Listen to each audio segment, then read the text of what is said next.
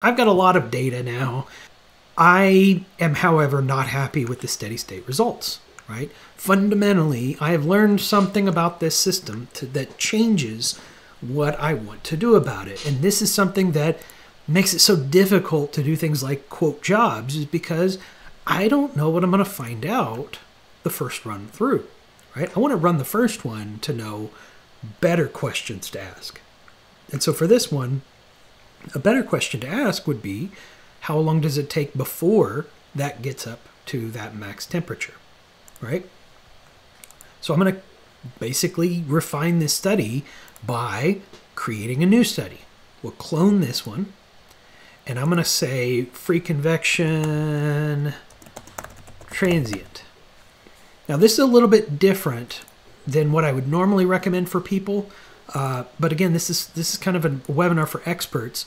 Uh, if you're brand new to this, I would say create a brand new study, transient, and then you know look at the values that it's going to give you, because changing from steady state to transient uh, involves quite a few different changes. Let's look at the first couple. So for the general settings, uh, obviously I have to come in here and turn on time dependent. Now, normally when you create a new study, it'll say time dependent, then it'll say total time and time step. It does not show that here because right now we're not in this uh, same place. Uh, so that value is actually moved over to another area called the calculation control options.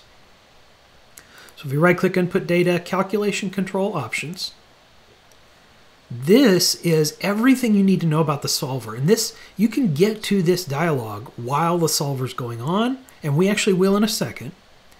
But for a steady state study, you use goals convergence. We discussed that earlier. For transient, goals basically don't do anything because a transient study, the goal never really converges. Like it, it can, but they're really just for information only. Okay? Um, you could use that if you felt like it.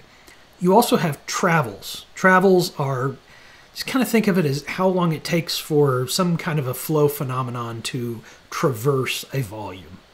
So traversing a volume, um, you know, would take longer or or would would take more or less time depending on the viscosity or the density or the size of the domain, uh, things like that.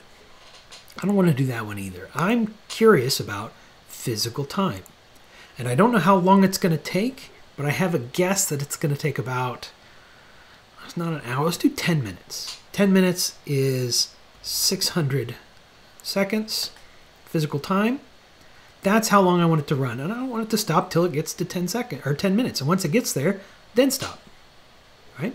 Now, if you create multiple finishing criteria, you can tell it which ones you want it to use. Um, in this case, I, for, for transient, I just want to know what it looks like 10 minutes in. Uh, the only thing, other thing I want to really look at is the saving. You want to save the result files, and it's going to create a bunch of iterations. I don't need a bunch of result files. Transient always saves one, or no, steady state always saves one. Transient, you want to save periodically, and my default is always periodically by time. And for 600 seconds, I'd want my period to be, let's just say, two seconds. No, let's say five seconds.